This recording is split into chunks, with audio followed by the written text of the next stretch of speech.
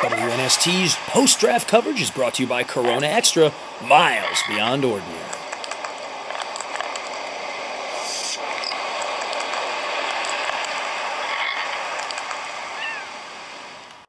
maybe draftable in October to be the number 18 pick in the whole draft. I mean, as a fan looking at it on the outside, it seems a little risky, seems a little scary. I mean, I have full confidence in what you guys do, and that if you're going to take a one double A kid in the first round, pick number 18, you're you're not 90% sure, you're 100% sure. But how does a guy like that fall through the cracks? And, and, and the value that you put on him to move up into 18. I, I just don't understand the moving up that you couldn't have gotten him at 26. I understand your trepidation that you might lose him, but what led you to believe that you might lose him over those eight picks? That somebody else would take a one double A quarterback and love him as much as you did. You fell in love with him because you were at the Towson game, you were at the Navy game, you had a personal thing having seen him. Did other teams love him the way you loved him? Because certainly the, the talking heads didn't love him to that degree. They put him in that range with Henne and with Brohm and the other guys. There were clearly going to be were going to fall into the 40s or 50s. Sort of, kind of. You know, I've, I've learned uh, over the years that the talking heads really don't know what they're talking about. And, and that's just the reality of the situation. We watch the tape. I've never seen uh, Chris Berman watch tape. I don't know if he does. He might. I don't know if he does. I, I don't. I know Ron Jaworski does watch tape. I respect him. But in general, I know one thing, you watch more than any of those kids. well, well, the thing about it is, um, you've got to have a con- conviction, and whatever you do, whether you're a banker or whatever you do in your in your job, you've got to go with your instincts, and you've got to have conviction. And we spent a lot of time around Joe Flacco, and quite that trade with Jacksonville to go back to 26, there was elation in our room. We got a lot of picks. We were very, very excited. I'm in the, I'm in the pick business.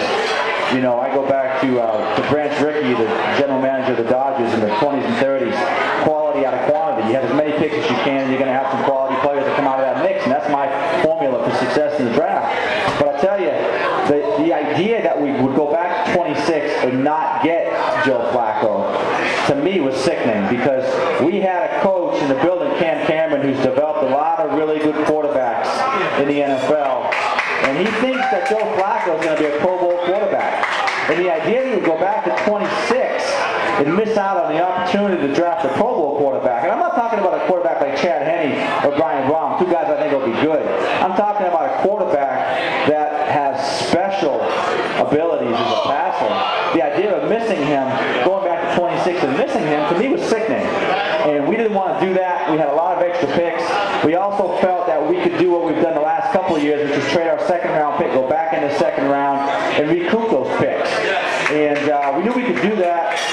We felt that uh, to go up and get him was the wise thing to do. We knew that there were teams that were looking for quarterbacks. You never know how the other quarterback, how the other teams feel about quarterbacks. Just because I think it's a dangerous assumption to think that because Chad Henne and Joe Flacco, I mean, excuse me, Chad Henne and Brian Brohm fall to the bottom of the second round, that Joe Flacco's going to fall to the second round. That's thinking in a vacuum. That's living in a vacuum. Did you know another team loved him? Did, did you have, did, do you know that? si- I don't know that, no. But you think that? You I, I don't know. You don't know. I didn't really care because we had a conviction about the player. I watched the tape. I don't really care what somebody else is going to tell me about Joe Flacco. I watched Joe Flacco, and I'm going to go what I think. And uh, in the end, as I said, the notion that we would go back to 26 and have to play with Brian Brohm, to me, is a lot less appealing than having the chance to take the Pro Bowl quarterback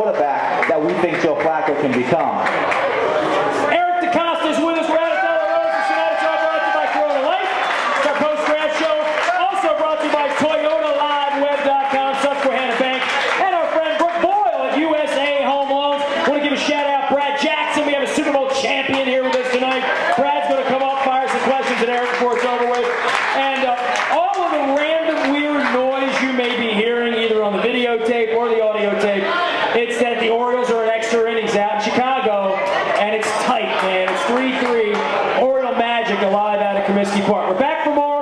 Draft up, Eric DeCosta, 13 years in a row, and we're in the heart of Ravens country, baby. We're at White Marsh. We're